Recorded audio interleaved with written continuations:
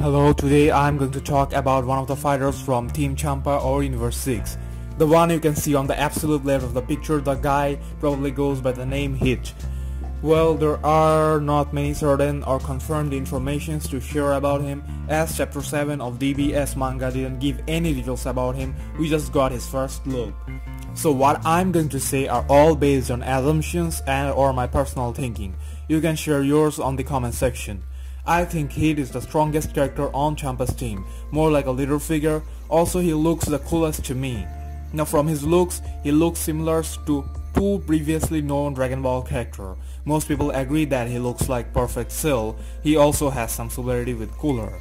Now questions like who could he be, what's his race, how powerful is he comes. Well there are many possibilities, he could be a totally new character from a new species who has nothing to do with any character we know.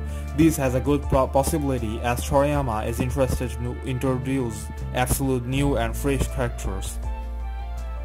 Now going by his looks, if we try to make some connection he could be someone like Cell who has the ability to absorb. His body appears to have different and diverse features which could indicate absorbing someone.